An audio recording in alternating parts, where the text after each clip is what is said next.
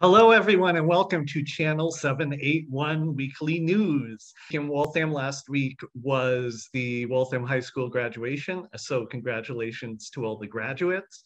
Uh, this past Saturday was uh, Waltham Pride, the first one ever on the Common, so we'll talk about that. Um, and in the school committee, they've been discussing the budget, and we'd like to give you some more background on that. And uh, we'll also talk about what happened in the long-term debt committee meeting and the committee of the whole meeting this week. I have a little bit of an update on pot shops and we want to talk a little bit more about housing and evictions as well. So plenty to talk about today. So as you may have noticed, we changed our name and we're slightly changing our format. The folks at the network thought that the city council did not have the star power to carry their own show. That's not really why. It's because as you've seen, sometimes there's a lot to talk about in city council and sometimes there's not. So using that time to talk about other things going on in the community. So now we're just making that official. Uh, in the past, we were trying to do a complete record of the city council. And as we discussed the past couple of weeks, that's not really possible because of meetings that we can't go to.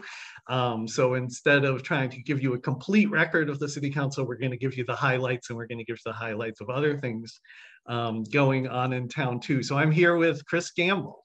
Hello, everyone. And James Kelly. Everyone.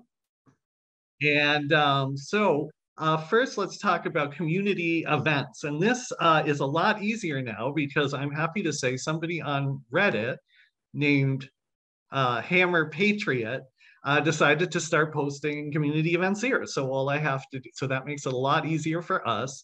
Um, so Pride was this past weekend. This coming weekend, June 11th, is the Italian Festival, 10 to 5 on the Common. Uh, Friday and Saturday, the 17th and 18th, is the Waltham River Fest. That's Waltham's big event um, with lots of vendors and lots of activities. Um, on the 19th, Waltham Black Future Fund is doing a cookout. Um, I'm not sure where that is actually. I, oh, on the Waltham Community Farm. That's right. And there is also a Juneteenth celebration on Monday, the 20th on the Common, which is co-sponsored by the Boys and Girls Club and Waltham Black Future Fund. And on Saturday, June 25th, there's the Moody Street Art Walk. Um, from 11 to 12.30 on Saturday, June 25th also is the Waltham Children's Business Fair at 3 p.m. And the farmer's market is back, Saturdays 9.30 to 2 p.m on Moody Street. So there are, there are community events and uh, I'd love to talk a little bit about Pride. Uh, this That was this past Saturday. Uh, this We are not gonna be objective about this because Chris and I were on the organizing team and James was there and we all had an awesome time. I think it was a huge success. I don't know what you guys have for estimates, but I've heard people estimate we had about 500 people.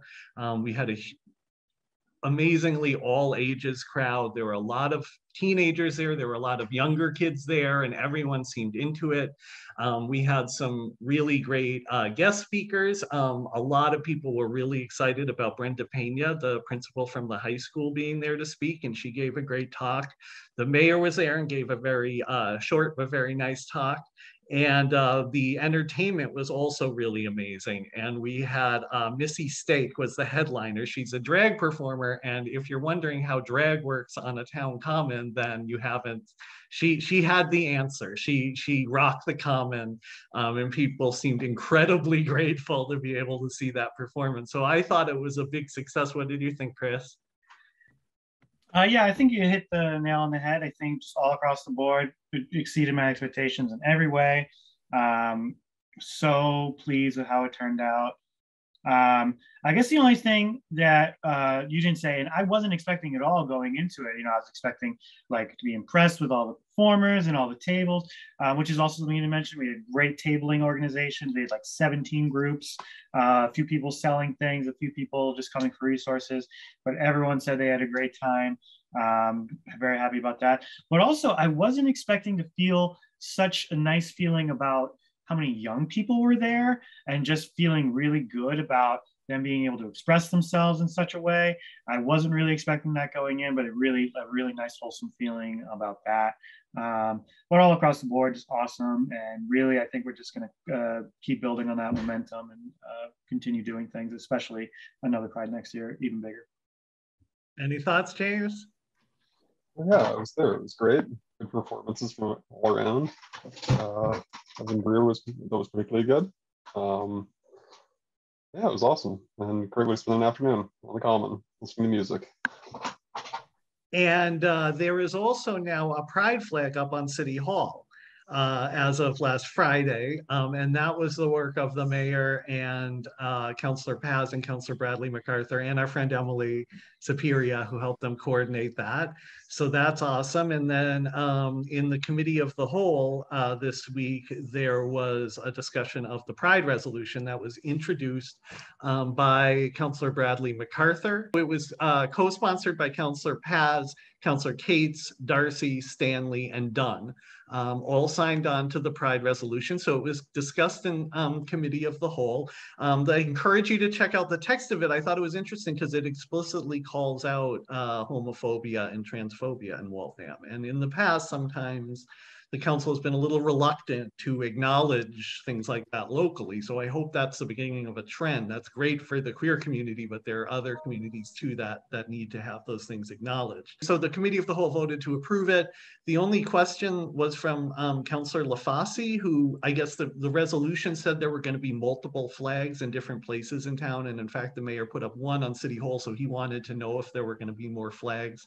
I don't really know why he wanted to know that. But otherwise, there didn't seem to be any pushback on the resolution. And they brought in the mayor to clarify uh, about she's only in charge of what flag goes on City Hall. If people want flags somewhere else, that's somebody else. Uh, but she complimented the event and she complimented the shirts, which I also really like. She was very, the mayor was very impressed by those. Um, so yeah, thank you to uh, those counselors for putting forward that resolution. I think it, it means a lot to the community. Can I can I make a plug? Yes. Um, so yeah, I just want to make a quick plug for Channel 781 News. We're always looking for people to get involved. I'm um, always looking to expand our horizon. Uh, you know, we talk about a lot about city council, but I would really like to get more into just, you know, uh, cultural aspects of Waltham. I'd really like to get more into entertainment uh, reviews, really more talking to people. Uh, my pipe dream is to really get on the ground reporting done. Um, so if you want to talk to people, more than I do, then you should get in contact with us and we can do good work together um, in this project. Thank you. Yes, I think that we would, as we're changing our name and trying to expand what we do, we definitely could use more help. We have more subjects to cover ideally people who want to either go to a meeting and re- or research a subject and then talk about it on the show that's great because then we can ask you questions and stuff. If you don't want to be on the show but you want to help us research topics that's really helpful too so feel free to get in touch. And speaking of which uh, so in a previous show, we discovered that um, while most of the meetings in Waltham, the city meetings are announced online, some are only announced on the bulletin board outside City Hall. So I had said sort of half sarcastically, what are we going to do? Are we going to get a volunteer to go check the bulletin board every two days. And amazingly, we actually did get a volunteer to do that on Reddit. Um, so thank you very much to that person who is now sending me photos of the bulletin board. And I am posting on the Waltham Data Medium channel um, the any meetings uh, that are on there that weren't on the previous one. So you can go, I don't cross check to see which ones were also announced online, but if you want to see a more complete list of upcoming meetings, go to the Waltham Data Medium channel. Um, and that's exciting news. And uh, so thank you to that person. Thank you to the person who's doing the events, but we could still use more help uh, to bring you everything that's going on in town. Uh, in the com committee meetings, um, last night, city council committee meetings, there was a long-term debt meeting. Chris, can you tell us about that? Uh, yeah, me and uh, James uh, attended the long-term debt uh, capital planning committee. Um, if you follow us on YouTube, you got a ping on your phone. It said we went live, uh, which James is always good about. I'm never, I never remember to actually go live. Um, pretty boring meeting, but uh, a couple of things that were talked about. Um, I guess I could share my screen, just bring up the docket that was talked about. Um, this was for um, city departments that had to come plea for funds that were kind of one-offs that didn't make it into the budget. Um, so these are just nominal things that had to they had to come and say why they wanted them. And I mean, it's kind of boring. The only thing is election poll pads, uh, so you can look up the your name and uh, address uh, for every election um, electronically, um, which other cities have been doing for years and years and years.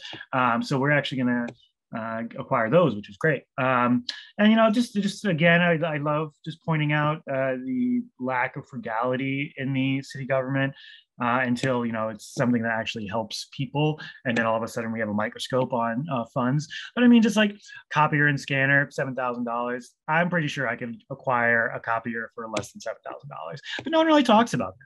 You know, no one really, no one, you know, no one's like, could we go cheaper? No, no, we just we just you know, you go through a Wayfair catalog and we just click it and then it's ours uh, because it's the government money. No one really cares until it's actually helping people. Um, I will say this is the mayor's budget, and so the city council is like, okay, well, the mayor thinks that that's enough. Uh, but again, I mean, when everyone says, and if anyone ever says they're a financial watchdog, what they mean is that they don't want to help people. That's really what it means because everything else, no one ever checks. I did I did say I didn't have much to say on this, but I was going to point out that IT expenses tend to have extra stuff baked into the cost, like uh, like just like being able to acquire them uh, in like for, for like periods of time, and like I think that they tend to roll in like warranties and like extended warranties and stuff like that. So I can at least excuse some of those expenses because you want to make sure that that printer or copy you get will be repaired for n years in the future. But like the the the amount of expenses that go into roads in general is just like mind boggling especially when you think about it like at the scale that is happening in the city. And then like just how much of that is in service for through traffic that doesn't really benefit Waltham at all other than increasing noise and wear and tear on the city infrastructure. So that's my thoughts. I have an update for people who the issue of pot shops. Um, so two weeks ago, there was, uh, a few weeks ago, there was a hearing um, for Middlesex Integrative Medicine, which is one of the businesses um, that wants to open a dispensary in Waltham. It's like the other ones, they already did a public hearing back when they first applied. And so this was a repeat of the hearing. They seem to be repeating all of them. So uh, Chris did not real, and James, I wasn't on the show that week, and Chris and James found this boring, which I sympathize with because the hearings themselves are kind of boring. Um, but our friend Emily Superia was also watching this and she noticed two things that were really interesting that came up in this. One was that it was mentioned that Middlesex Integrative Medicine already has a host community agreement um, with the mayor. So as you may remember, there's two things you need um, to open a dispensary. You need a special permit from the council and you need a host community agreement from the mayor. And I was under the impression none of the businesses had that. And in fact, um, Christine Mackin, when she was on the show, told us she had heard the mayor say that she wasn't interested in doing any of those. Um, but according to a comment in this meeting, they already have one. And so that raises the question of which other businesses have one and why. Why do some have them and don't? So uh, that's not an easy thing to look up. So I'll continue to find out, try to find out the answer to that. Um, but the other thing that came up was they referenced that in a traffic uh, committee meeting, which happened last week, they were going to be reviewing the traffic study that you may remember all the businesses were waiting on because it was requested by the council. So fortunately, that traffic uh, meeting was recorded, so I watched it. Um, it was very interesting. The engineer, the traffic committee had, um, traffic commission, I'm sorry, had asked, uh, hired an engineer to study this, and he gave a report and he had an actually really interesting infographic which showed that if the pot shops are built, uh, the traffic will get a lot worse. And if the pot shops are not built, the traffic will still get a lot worse. so basically, what he showed so, first, I should say this was specifically about four businesses that are proposed for the Bear Hill area. There's a fifth business that was not included in this because it's not exactly in that area. It's on Main Street. It's going to be on Main Street um, on the east side of the highway, kind of across from Market Basket. So, the four businesses on Bear Hill um, were covered by this. And basically, basically what they found was that they would have no significant impact on the traffic because there are going to be significant changes to the traffic, eh, but that's coming primarily from the 1065 Main Street project. So for those don't don't know, 1065 Main Street is the Market Basket Plaza, but that property is actually much bigger and it's being developed in phases. And um, that project is, according to the engineer, what will drastically change the traffic patterns in um, Bear Hill area. So uh, Councillor Darcy and Councillor Harris were there from the committee that requested the study, and they were not happy with this. Oh, because, well, what I should mention, the, the report specifically said um, that they could not recommend any mitigations that the pot shops could do that would fix things. They, it said that the mitigation that the city could do would be to repave the sidewalks on Bear Hill because they're very, uh, not very good for pedestrians and provide a bike lane on Bear Hill Road. That would mitigate traffic, but they didn't say anything that the businesses themselves could do to mitigate traffic. So Councillor Darcy and Councillor Harris were not happy with that because in, they said that's what they wanted out of this study. They wanted suggestions of mitigations such as smart uh, smart traffic lights was one example they gave of a mitigation that they could then ask those businesses to pay for as part of getting their special permit. But the traffic commission voted to accept the study anyways because the engineer did what he was asked to do. So they seemed unhappy with that. And then they had a little bit of a huddle with the mayor. So it seems like there were, those two counselors are working with the mayor on these issues. And the mayor came back and made an odd comment about how she doesn't want 1065 to get hit over the head. She doesn't want, meaning she didn't want people making negative comments about the developers of 1065, implying that they're causing the traffic because they already did committed to all kinds of things to mitigate the traffic it was kind of odd because nobody was attacking 1065, but she apparently is sensitive about how people perceive that. And then she also came back to clarify that it wasn't the owner of 1065 who did that, it was the collaborative of investors. For some reason, there's a collaborative of investors who are doing this project, and, and the apparently the owner of the property must be someone who is well known and doesn't want to be associated with it publicly because it seems like whenever it comes up, um, there's some sensitivity about the language that's used. Uh, in any case, it seemed I, it seems like probably what Councillor Harris and Councillor Darcy are dealing with are they have constituents in that area who say the traffic's already going to get worse. If you approve these pot shops, you'll make it worse. And it seemed clear that they wanted to be able to make the businesses do some kind of mitigation. Um, so it's not clear how this is going to affect the process. And if it's true that there at least one business already has a uh, host community agreement, that suggests that they've already decided behind the scenes who they're giving it to, and they're only giving it to four, and there are five applicants. So they have to reject, if they would not make sense to reject the one on Main Street because no one seems concerned about the traffic. So they have to reject one of the applicants on Bear Hill. And the process it seems like maybe there's a process for here that hasn't been totally transparent. Any comments on that boring subject? Chris or james? James go ahead uh, I, I, recall that this is also in the same area where the 128 project is going to be happening too. So it's going to be interesting to see what the ultimate impact is to the traffic in the area because you're going to have a lot of like people now directly getting off 128, getting onto Main Street in exactly that area, trying to get into Boston. Yeah, we talked about it the last debrief. It's uh, projected to be rated an F. Uh, by the traffic commission and they have no real ways to solve it. There's no practical ways to solve it on the table right now. They're not they're not mitigating it. And it's just going to get so much worse uh, in like five years. That's just going to be absolutely awful. And it's all going to run downhill into Main and everything else too from there. It's, it's going to be that's interesting. Yeah. Yeah. So it seems like uh, all along the pot shop kind of we didn't realize they've all been caught up in a bigger issue of developments that have already been approved and how they're going to impact that neighborhood. So it'll be interesting to see how the council deals with it because there are probably have constituents who don't want this approved for that reason, but the uh, traffic report did not say what they wanted it to say.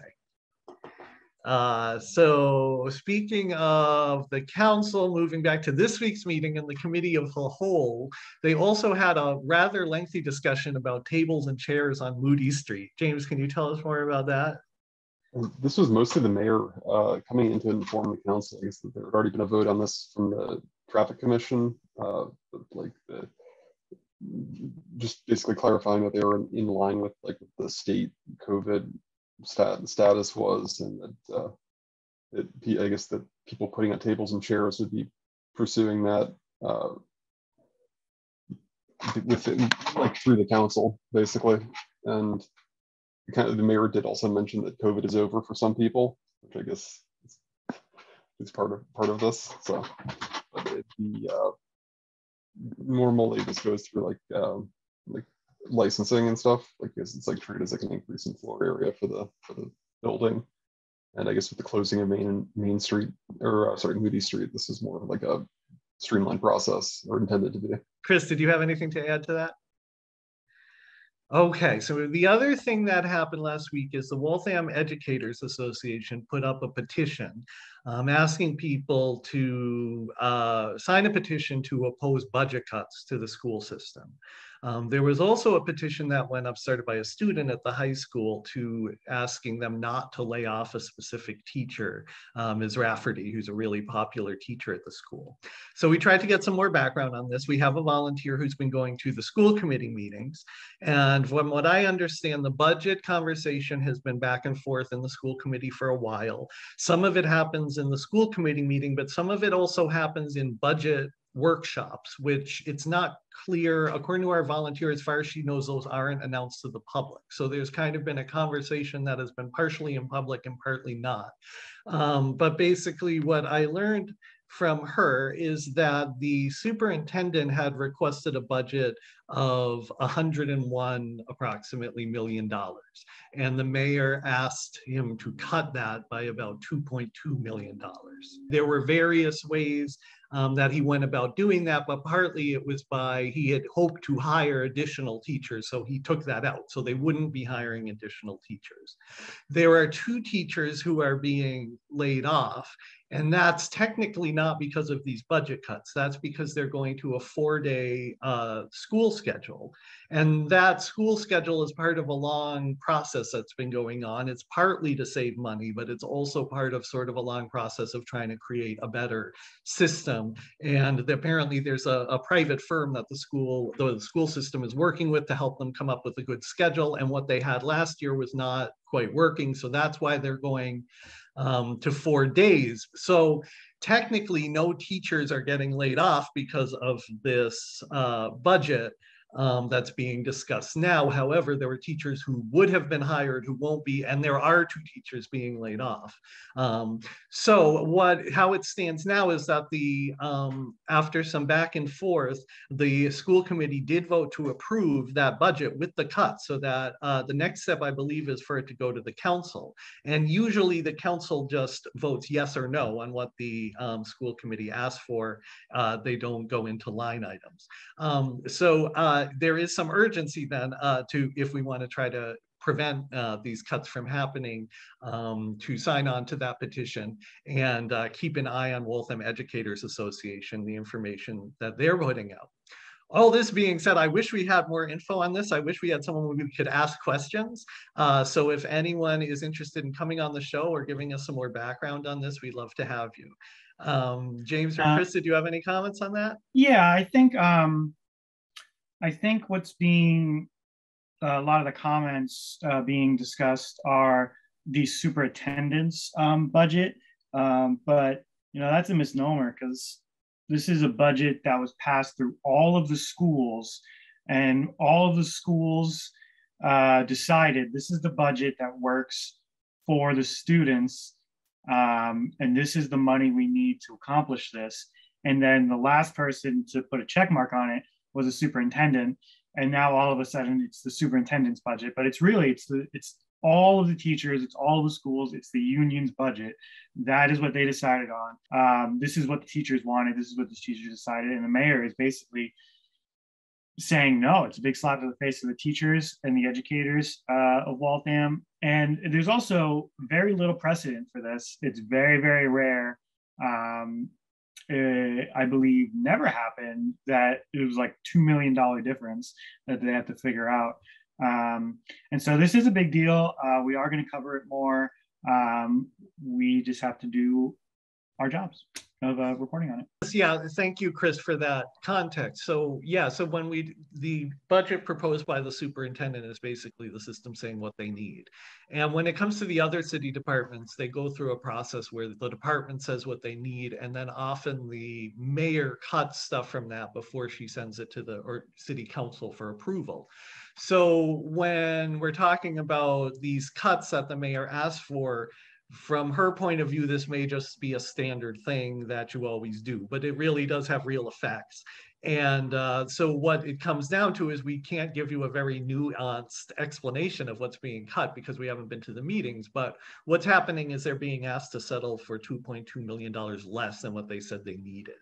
And I think it's worth thinking about, you know, how people might react if certain other departments were asked to accept um, that much less than what they said they needed. And uh, now is a really good time to be standing up for teachers um, in the same way that people sometimes stand up for other departments. And then the last thing I wanted to cover today is not exactly in response to something that happened last week. It's something I've been trying to research, and it's not an easy thing to find info on, but I wanted to bring it up, and maybe we can get someone on the show who has more info. Property values are very high in Waltham right now, as in a lot of places, and it's not unusual for homeowners and landlords to, even when they don't have their house on the market, to get calls from real estate agents saying, hey, have you thought about selling because it's worth a lot of money, or to get calls from commercial companies that are selling, buying and reselling houses to make money.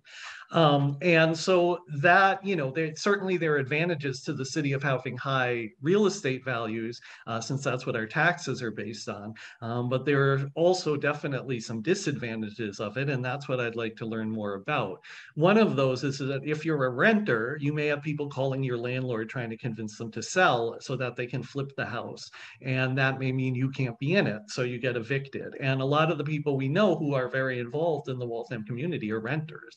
And in fact, this did happen to two good friends of ours who uh, their place was bought, who were very involved in the Waltham community for many years, and now they don't live in Waltham anymore uh, because somebody bought their place to flip it and the I looked up the family that did it that that bought it. Um, they also live in Waltham. They have a huge house, um, and they say on their LinkedIn that this is what they do. They're flippers, and they do something called buy and hold, which, as I understand, means you buy a house and you just wait for it to go up in value without actually adding any value to it. Um, so what this means is that you know one family that has a huge house and there's four families who lived in this building that our friends lived in and four families have to move so that one family can make some more money. Uh, so this is something i'm concerned about but i'm not an economist so it's hard for me to uh, research is this really a trend and how big a trend is it? Um, but one thing we do know about that could be potentially uh, that's relevant to this is that watch cdc um, put forward a resolution meaning any city councilor could pick it up and put it in the city council and it could become an ordinance but no city councilor has done that yet. And this resolution, so what during the early days of the pandemic, there was a rule that if you were being evicted, um, the landlord had to provide you with some information. If you got a notice to be out in 30 days and you can't be out in 30 days, there are certain, you have some recourse. And Massachusetts is has a reputation as having a good system to, to protect renters, but only if you know about it. Um, and so that expired. So Watch CDC wants to make it a town ordinance that landlords have to provide that. And it, I don't see any good reason not to do it. Um, I know that the city council has to represent landlords' interests as well. Um, but we already have protections in place for renters. This is just letting them know about it. Um, and it seems a little unfair that certain people, which may include people who are new to town or new to the country, are more likely to get evicted because they just don't know about this. So I'd like to put out a call for a counselor to put forward that um, resolution in the council, but I'd also like to put out a call if anyone out there is an expert in real estate or any of the issues related to what I just talked about, and you can help us understand um, to what extent is this a problem in Waltham and what could and should the community do about it, we'd love to hear from you. Any comments on that? The uh, real estate in general, it, it, prices have been going crazy, and it's funny you mentioned like the the buying and holding. I've been living next door to a, a property that has been basically having exactly that happen, with not even being rented out, just because it is was too expensive to repair. So they just basically let it sit and fall into ruin until they sold it. And now it's going to get knocked down and a new thing is going to get put up eventually. But who knows how long that's going to take. And the, the, the, you know, it's, you know, gentrification, getting people pushed out to build, you know, expensive new properties to attract a new clientele to live in the city. And that's just what we're seeing. It would be interesting to get some more outside opinions on this, though. At least get more information and perspective on how, like, how it's playing out in the city, our our city. But it's this is very much the trend in the rest of the country. I feel, I feel, and it's people that can afford to move out from other parts of the country, moving in here, displacing people that can't afford to live here more often than not. All right. Well, hopefully we'll be talking more about that in the future with some more info to go on. Thank you very much. That is our show. And we will be back next week. We'll cover the full city council meeting, but we'll also have updates on other things going on in town for you. Thanks a lot. Bye, everyone. Bye, everyone.